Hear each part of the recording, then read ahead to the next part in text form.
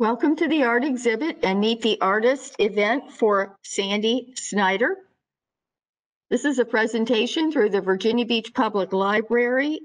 My name is Sandy Hopkins and I am a adult services librarian for the Virginia Beach Public Libraries. My co-host is Robert Kennedy.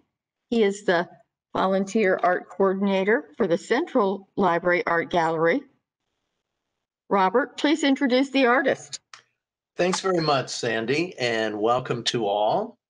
Sandi Lee Snider started cultivating her love for art and photography while growing up in the small town of Lawn, Pennsylvania, near Hershey.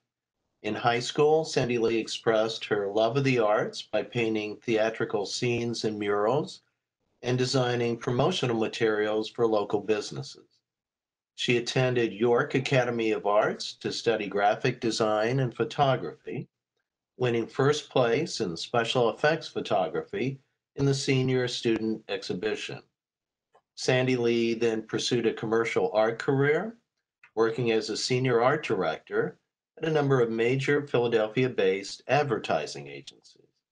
During this time, she continued to nurture her love of photography.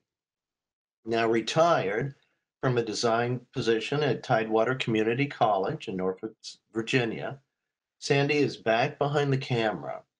Her love of fishing and boating is a perfect inspiration for rekindling her passion to capture those moments in time that photography provides. Her knowledge of graphic design and digital technology has provided the ideal opportunity to make that transition a reality. Sandi Lee lives with her husband Tom on a farm in Creeds, Virginia. Together, they spend many hours exploring and uh, photographing the natural beauty of the woods and waters in the Back Bay and Currituck Sound area near Virginia Beach, a place she calls heaven on earth. Sandi Lee Snider's work is on view at the Artist Gallery and Stravitz Art Gallery, both in Virginia Beach. Welcome, Sandi Lee. Thank you very much for joining us. Uh, I'm Sandi Snider, and um, I consider myself a fine art photographer. And um, I'm happy to be here today to share some of my work with you folks. Um, since you've already seen, heard, and read my bio, um, I'll just elaborate on that a little bit. Um, when I was um, deciding what I wanted to do for a living and picked the art school that I was going to go to. At that time, they offered uh, two majors. So I majored in graphic design and photography.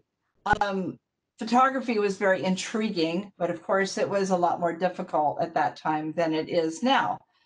And while I really enjoyed it, it wasn't something that I felt that I could do for a living. I ended up doing graphic design for the majority of my career.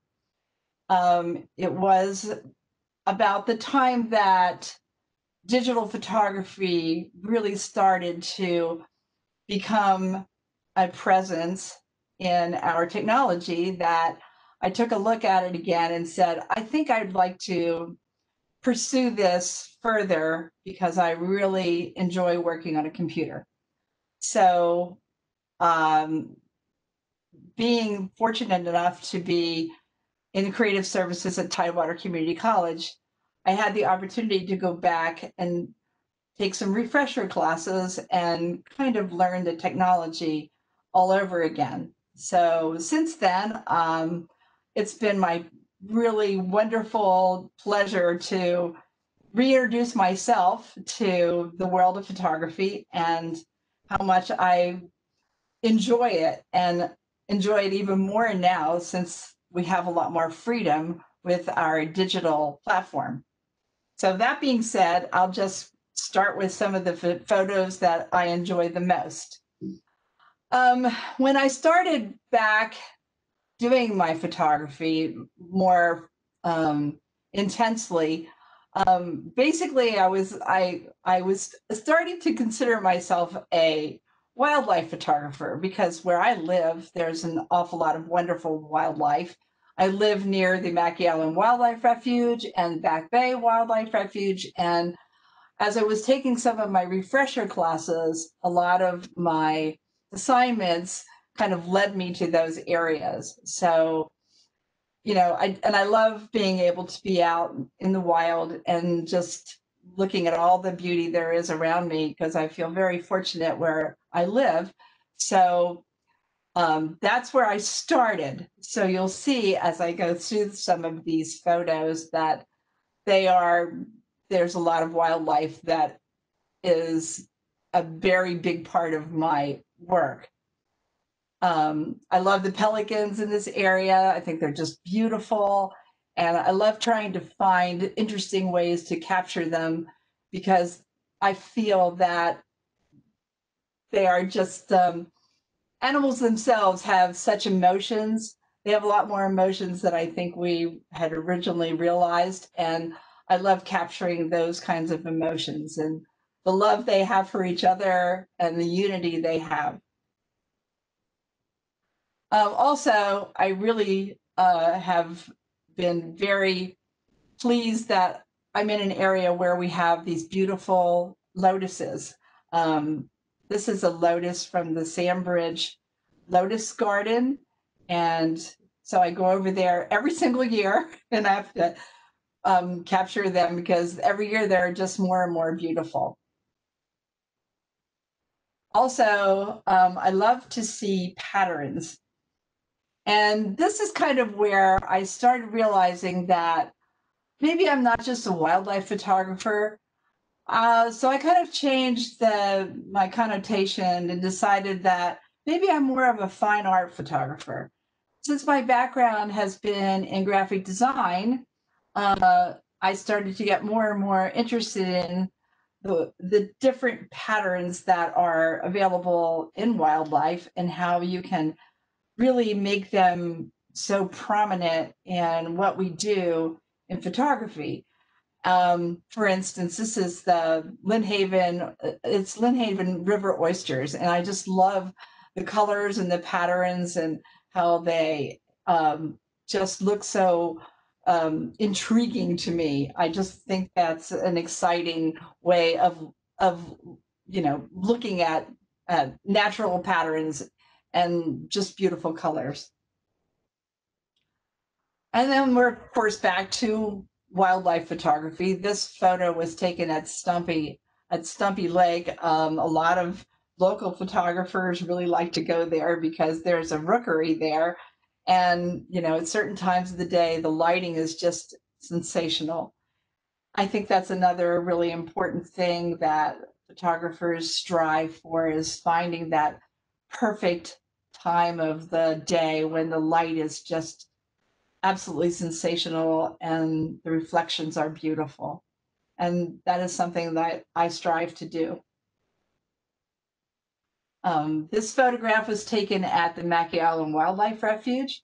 Um, it was at a time when the tidal pools were extreme and the tide was way, way out. So you could walk in areas that you normally wouldn't be able to do and that was that's always fun because there's always so many interesting things to see that you that normally would not be available because they would be covered by water. So this was a very interesting time when we were able to go out there and see these lovely hidden treasures. Also i live pretty close to the wild horses, the wild Mustang horses at Carova and Corolla. And every once in a great while, I get a chance to take a boat ride over there with some other photographers I I um, work with, and we track down some of these beautiful horses and take a lot of beautiful pictures of them. All right, um, this is a really interesting uh, photograph. Um, this is a American bittern bird, and they are very elusive. This is one of the fun things about the doing wildlife photography and photography in the wild in general. There's always a really great surprise that comes uh, when you least expect it. And um, these birds uh, are very hard to spot. And so uh, when you do have an opportunity to come across one, they actually pose for you, but they are thinking that they're well hidden. So um, it's a real treat. And I think that's one of the things that I really love about photography. It's just so uh, there's always a surprise around the corner. You just never know. You, when you have a camera in your hand and you're walking in a desolate area, you know, you just never know what's what's going to come out and what's what you're going to be able to capture. And it's just very exciting to me. I just love that part of it. So we'll move on. Um, this is a photograph that I took over at um, the Back Bay Wildlife Refuge. Um, just beautiful clouds, a lovely day. Uh, I just, I'm always looking for interesting lighting situations um, and a, a good composition. Um, the other thing that I really enjoy doing, and as you can see in this first grouping of photographs, it was kind of a mixed bag. Um, I've noticed that I really like when I can take a photograph and turn it into more of a graphic element as well. Um, I think that with my background as being a graphic designer, that's something that just comes naturally. Sometimes I just want to find um, a way of taking a photo and turning it into a little more than just a photo. Maybe not necessarily a painting, but adding a little texture to it to enhance it so that it becomes more than just a photo.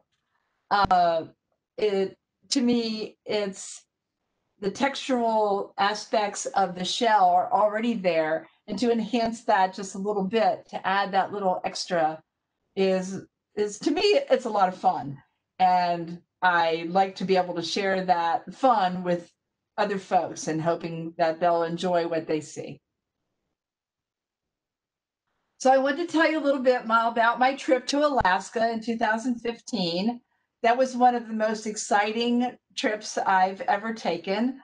Um, I went with six other photographers and we spent six days in the uh, Lake Clark Wildlife Refuge, which is um, uh, close to Denali. And it was just an amazing time for me. We photographed a lot of bears, which was really fun and scary. uh, puffins, which I thought were the cutest things ever. I just love them. They're very comical and and very social. They they just love to be around each other.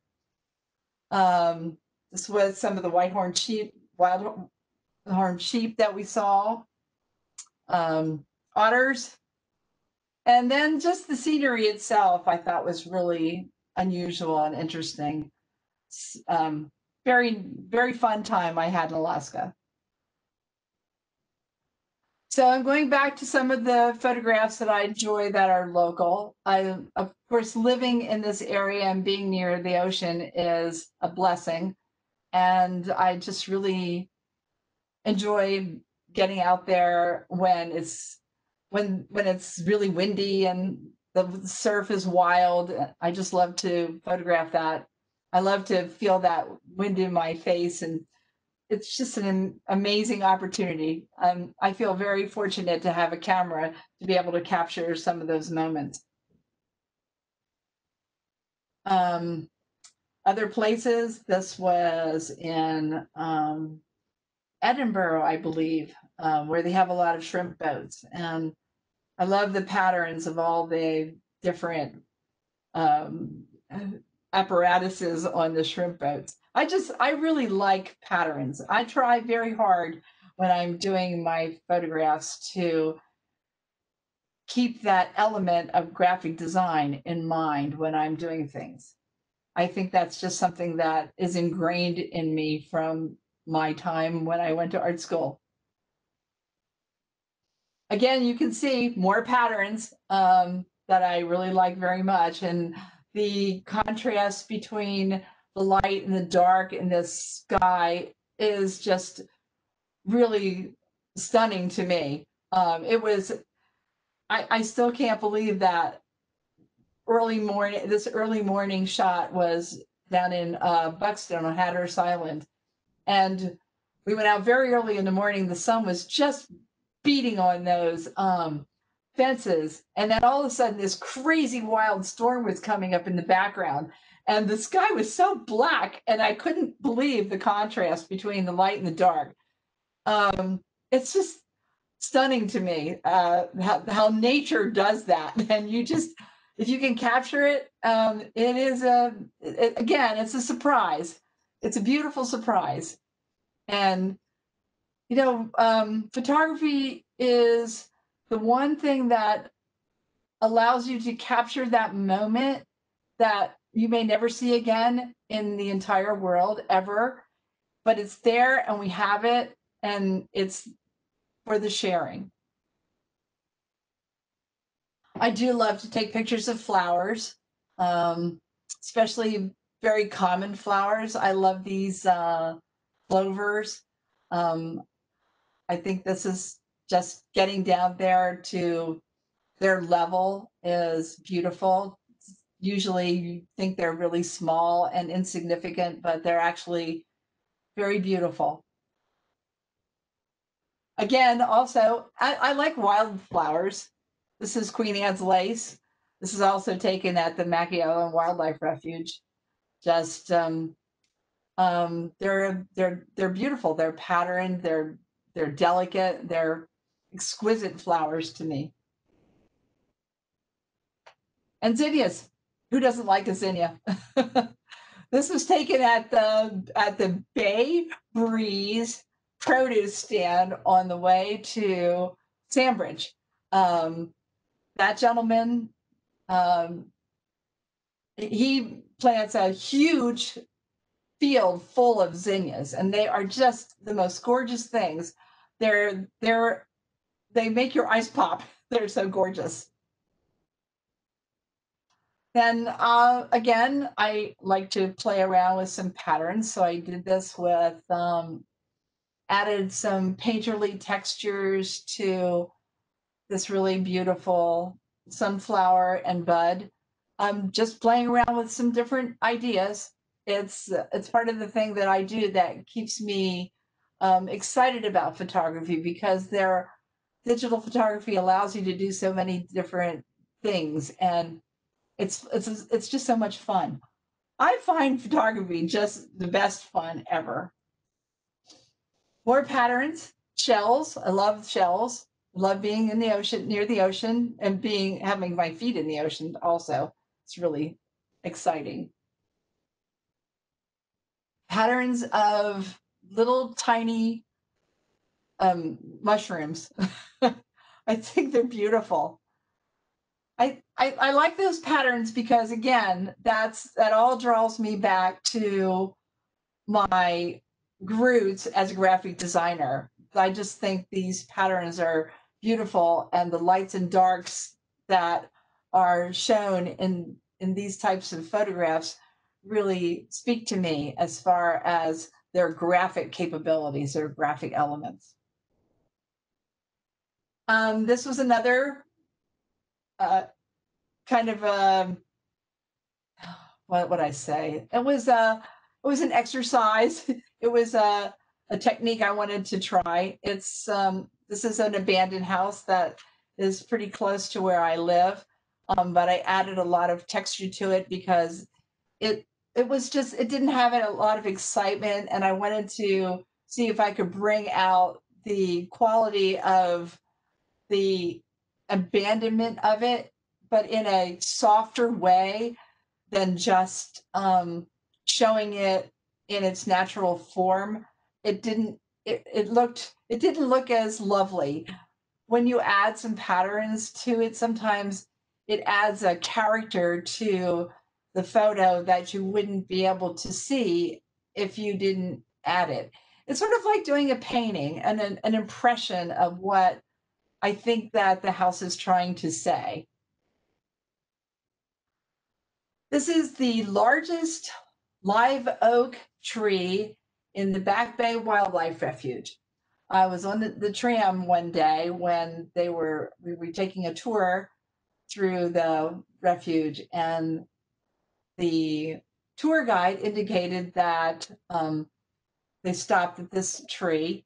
And I was amazed. A lot of people have asked me if this is the tree that's down in Charleston. And I said, nope, this is our own tree. We have a giant uh, wild, you know, live oak tree right in our backyard.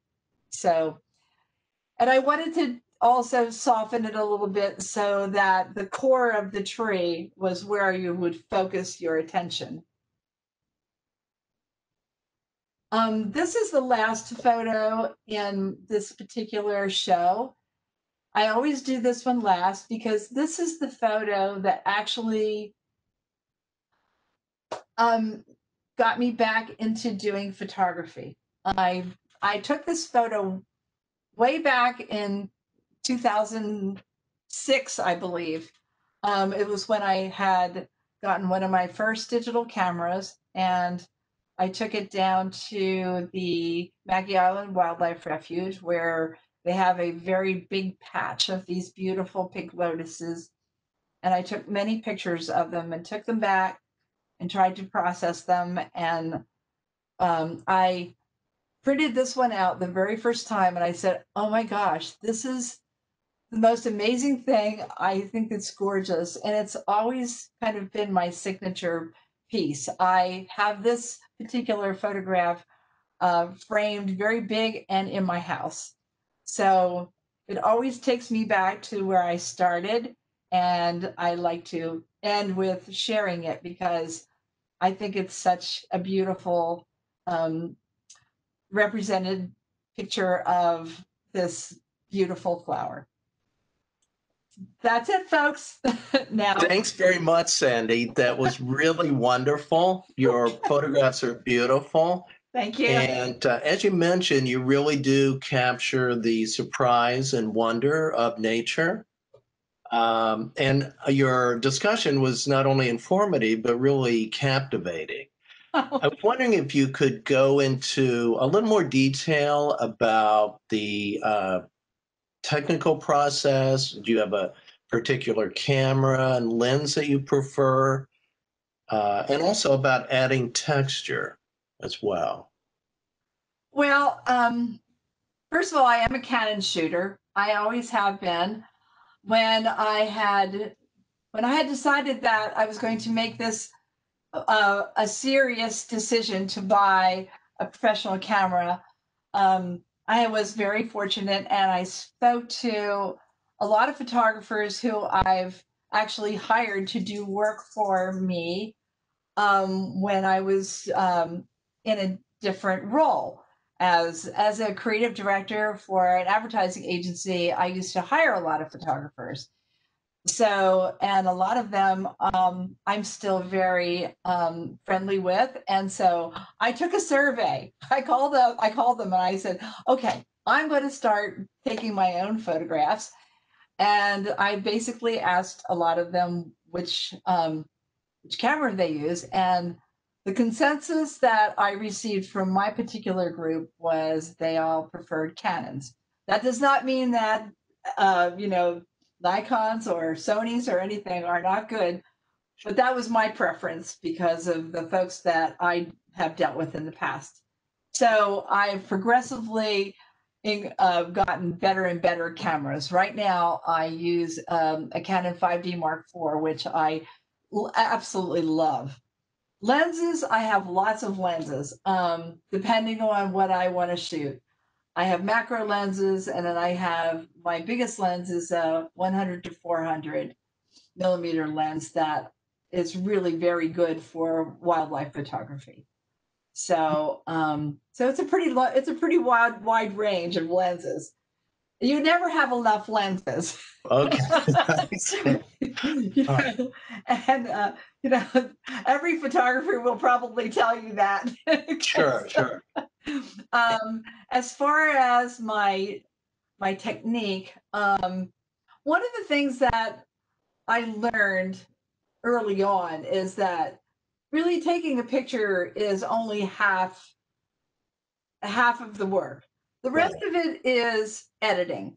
And you know, um, even even Ansel Adams, you know, did a lot of editing in the darkroom. We're fortunate now that we can edit on a computer, which is much easier, and you don't have to deal with a lot of chemicals. But editing is incredibly important. Editing and cropping and, um, you know, spending the time to learn how to do that properly. Um, it, it's it's a process. It takes a long time to learn that um, and i'm still learning. It's not something you ever stop learning. And that's the that's the joy of it because you learn techniques from your from other photographers from reading articles. Um, it, it's not something that you just sit down and learn in one night. Um, i'm very fortunate that i have been working in photoshop for an incredibly long time. So photoshop is my editing a software. There are a lot of others, and learning how to add textures is is more like a an experiment because you never know quite what you're going to do until you might add a layer that has a texture in it. You want to you want to play with it. So it, it's it's it's always um, you know a surprise, sort of like the photographs. They're you know, you look at your photographs after you've taken like 800 of them when you're out, you know, doing a photo shoot and you say, oh my gosh, I didn't know I got that. And then it's like that in the dark, in, in the uh, computer as well. It's, it's always, that's why I love it because it's always so interesting. Yeah, that's a really important point about editing. And it's so important to so many of the arts, actually. And you can really tell that your uh, design uh, background comes into play there. And also uh, about the selection process, you mentioned 800 photographs. Do you tend to take uh, a lot? Does it vary? Do you take from different angles? Yes, I do. Um, I definitely do that. Um, you know, if I see a subject that I really like, I may I might take it from every angle possible. And you know, I'm looking for the best light source um, and you know, the most interesting angle. Again, you're I really do feel that a lot of my my um, focal point comes from my graphic design background. And you know, it's it's hard to I a lot of people will ask me, well, um, you know, what what speed did you shoot? What what was your what was your settings? And I have to admit, I I I look back and I do them, but I'm not a person that is as technical as some photographers would probably like me to be. And that that comes from my um, my instincts of not paying as much attention to the technology as I do to the design aspects of it. I I am a designer and I'm a designer in in many areas and and photography has given me a different way to design. And so if I'm too technical, I, I seem to lose my ability to use my freedom, and that's what I want. I I'll take I'll take a hundred photographs, and then I will look through them and find the one that appeals to me the most, and I will I will concentrate on two or three of them until I pare it down to the few that I I feel are acceptable Okay, that's an yeah, that's another very good point, and you certainly do have wonderful instincts there.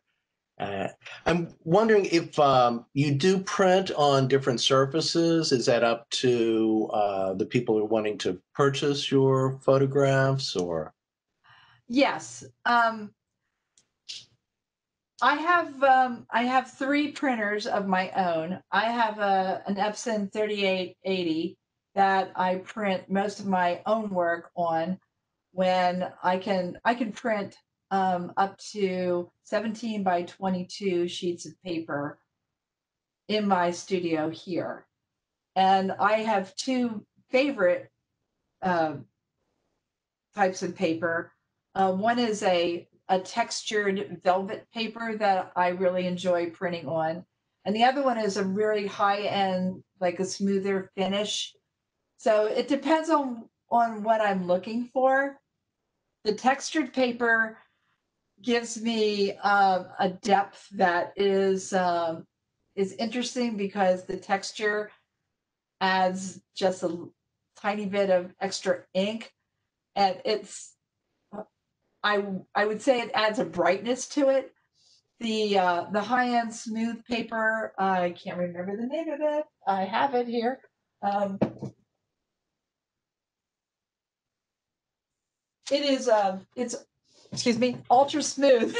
Okay, that's fine. ultra smooth fine art. It's all by Epson, and the the smooth. Uh, you know, if I'm looking for a sleeker look, that's the one I'll use. I I never use gloss. I I personally that's my personal choice. I And why is that? huh?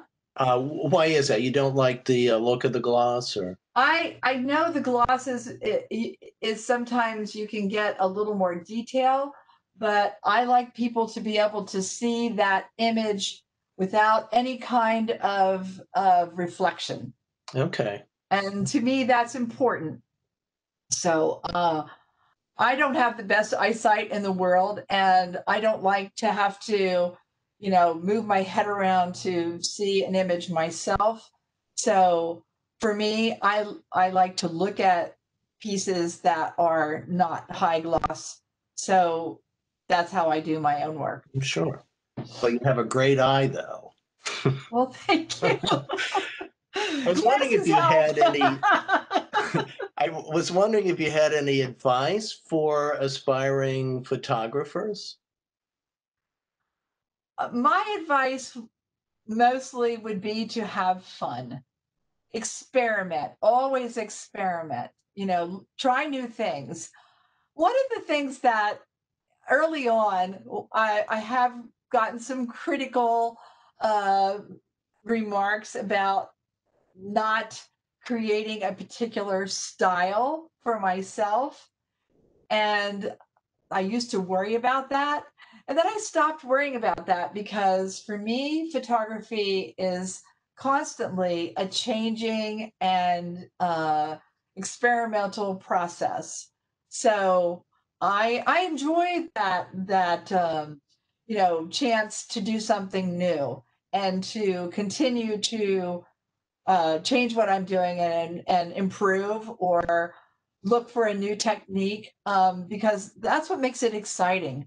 Um, so that's and that was the reason why I decided that I'm a fine art photographer rather than just a wildlife photographer or a black and white photographer because I like too many things.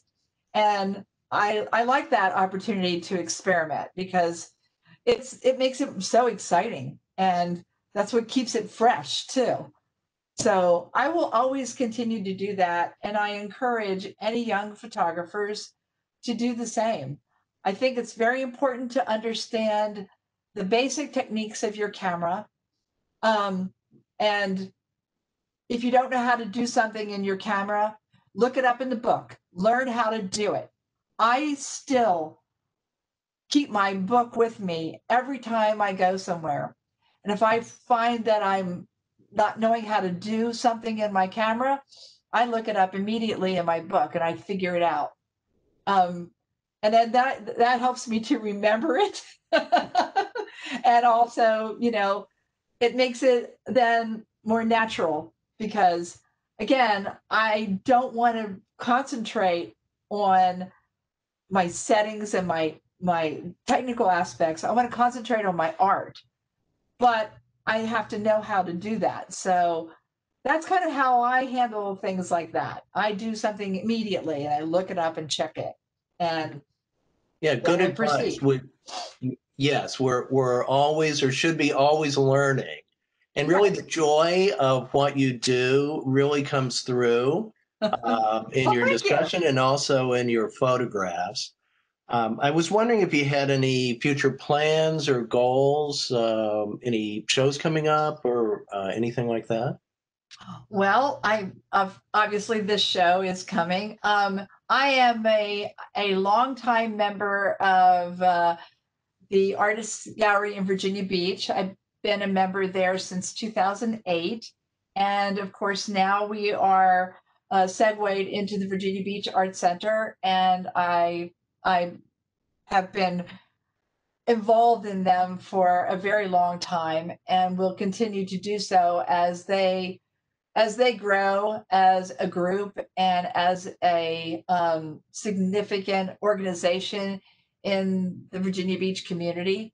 Um, they are uh, they have been my my family, my support system uh, for many years, and have helped me tremendously to grow as an artist and photographer. And I can't thank that group enough for what they have um, done for me and and supporting me and what I'm doing. And anything I can do to support them, I will do so. Um, I also have some really are an excellent group. they are they're fabulous and i just um i feel so fortunate to be there um one of the things i tell people a lot is that um all the years that i was working as a graphic designer um i was doing work for other people and following their lead as to what they wanted to do. And it was it was a wonderful career and i really appreciated all of that and all that training. But i never thought in in my wildest dreams that i would ever sell a piece of fine art in a gallery it, is the joy of my life to have segued into that and it's it's um i i my i'm at a loss of words when it comes to you know the joy i find in somebody purchasing a piece of my art to give for a gift or something like that it's just amazing so That is excellent. And we Thank you. invite everyone to uh, visit the Artist Gallery to uh, see. Sandi's photographs and the other wonderful artwork there. Thank you very much for joining us today, Sandy. It was really a pleasure and a beautiful show. thank you so much i really appreciate it i really appreciate the opportunity You're very welcome. And thank you all for viewing this and be sure to view uh, all our art shows. Thanks again. We'll see you next month. okay bye bye